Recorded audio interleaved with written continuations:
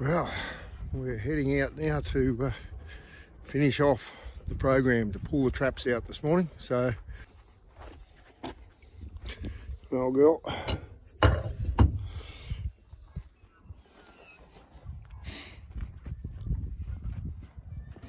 What are you dogs doing?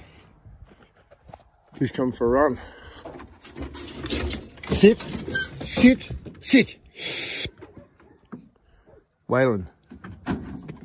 Dash. Skunk. Skunk. Sit, Robbie. Sit, Robbie. Robbie, sit. Robbie, sit. Oh, you're in trouble. What?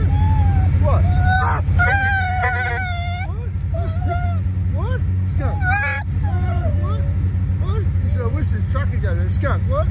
What? Skunk. He's a lunatic. That's what he is. Is something special. It's a uh, sad time when you come around, and you pull your traps out. You've gone to all that trouble of putting them in and uh, yeah, you got to pull them out. But usually where you've had a spot where there's been lots of tracks and you put a trap in there and you haven't caught a dog, but the tracks have disappeared, usually that's the dog that you caught over the hill or you know in the next gully somewhere and it was coming around that way. So it's still done its job. It's been part of the network that you've put out to control those dogs and you've had success. Skunk, that's how you teach your dogs. Now he said, I don't want to come anywhere near it. He doesn't want to come anywhere near it, do you? Because you know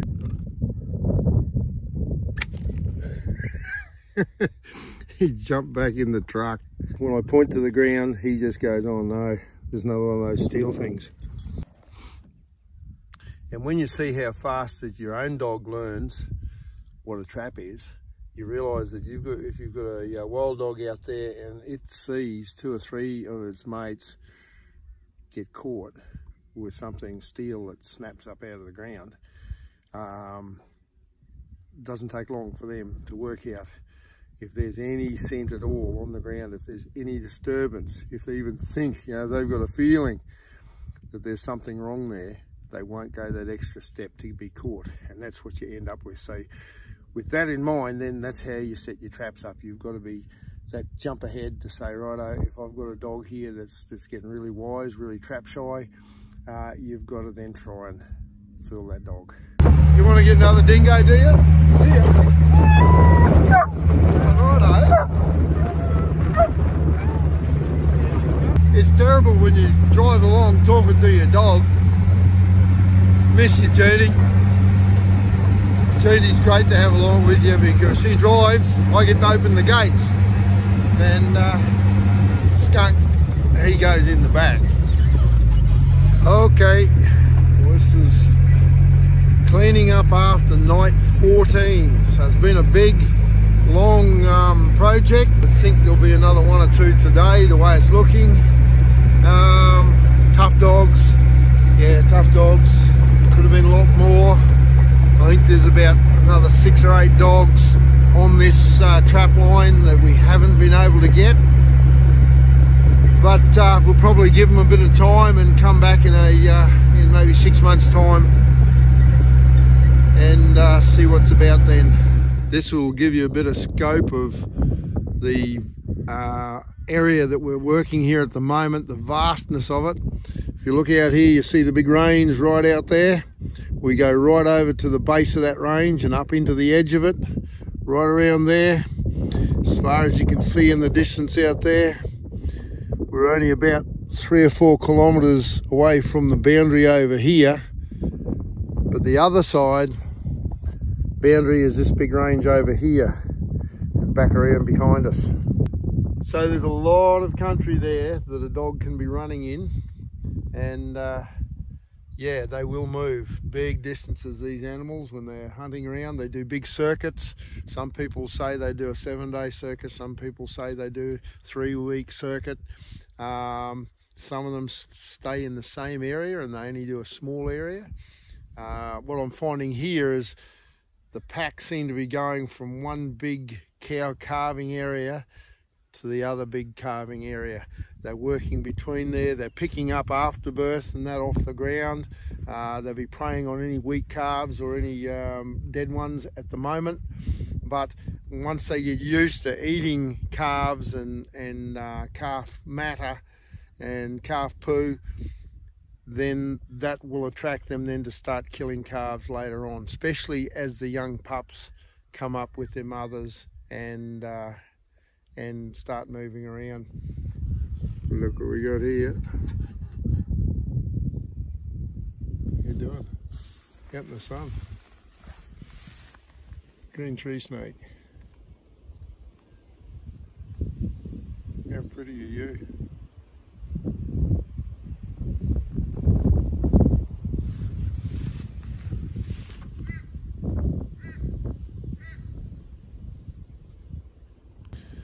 pretty cool snake. They really are. That looks so worried. There's a dwack at him, mate. Don't worry. There'd be a lot of people that would come out in this country and see it as harsh and dry and ugly. And uh, it's far from that. This is country that's full of beauty, full of wildlife. It is just a pleasure to be out in a lot of this country. It's great to see the wild dog in this country, the true wild dog. It's great to see that purebred dingo. And uh, in many ways I just love to see them with their numbers under control and uh, just living here as part of the the whole ecosystem alongside the cattle you know or maybe better put us being able to live alongside them.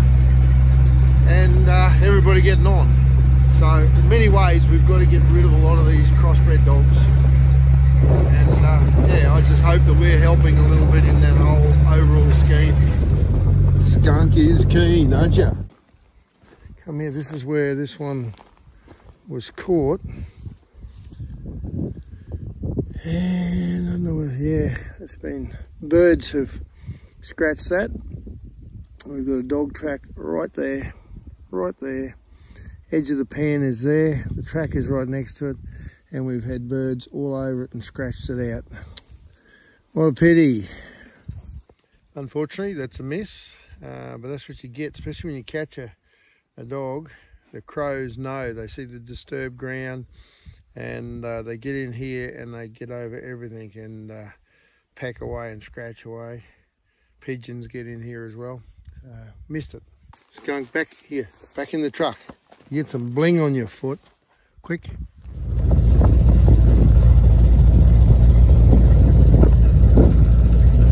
Robbie, stop being a moron, Robbie. You don't have to get that close to the action, Rob. No fresh tracks at all, at least on this part of the line. Uh, yeah, let's check the next ones.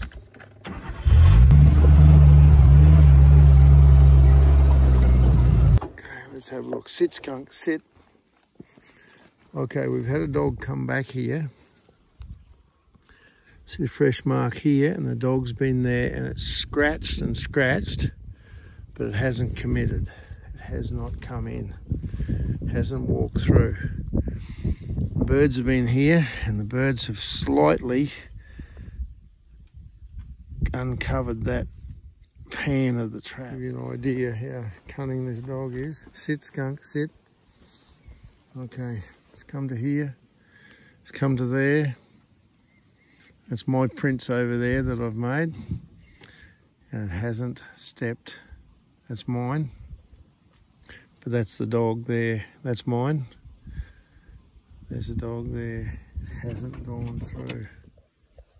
Unfortunately, we've had a pig through here, a wild pig through last night. Just been digging up down the gully down here. I stood on top of that edge of that trap, didn't set it off. Just walked over and done the same thing there, stood on the edge of that one, didn't set it off. It really wasn't what we needed here because what that's done is just presented those traps for the dog and the dog has come along afterwards and uh, yeah he's been able to see the traps half exposed not good very interesting this morning there seems to be only one dog left in this pack that's either one dog left or one dog has stayed around and it's been tracking up and down the centre road but uh, won't commit to any trap at all. It just keeps right on the uh, on the tyre mark.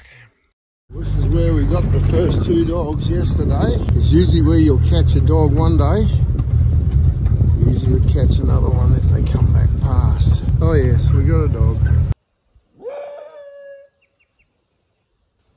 Righto, let's get this one shot.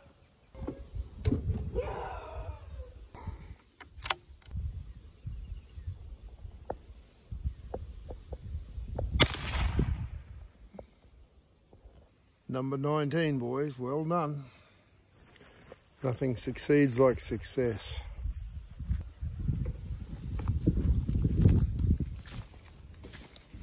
Very mangy. Very mangy dog. I wouldn't want my guys around this one at all because they can catch that sarcoptic mange. Um, yeah, another bitch. So that's a predominance of bitches in this area.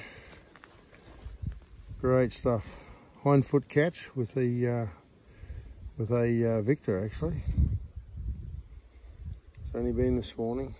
I think I've earned a cup of tea. Yep. Great stuff. What do you reckon, blokes?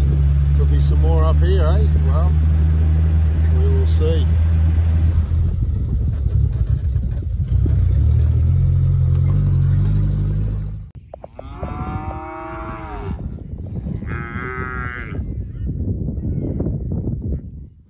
Well, it's been a solid two weeks of trapping. Uh, we're cleaning up after our 14th night and uh, 19 dogs caught. I thought we'd get another one. I thought we would have got our 20th dog today, but we came close. There was probably two different places that a dog stood within, like, you know, a couple of centimeters of the pan of the trap. Uh, still a really good run. Uh, that's um, four male dogs and 15 uh, females. And seven of those have got like growing litters of pups out here somewhere. So there's still a lot of dogs to come down here especially once it gets if it stays dry during summer spring and summer. Um, yeah the problem's not over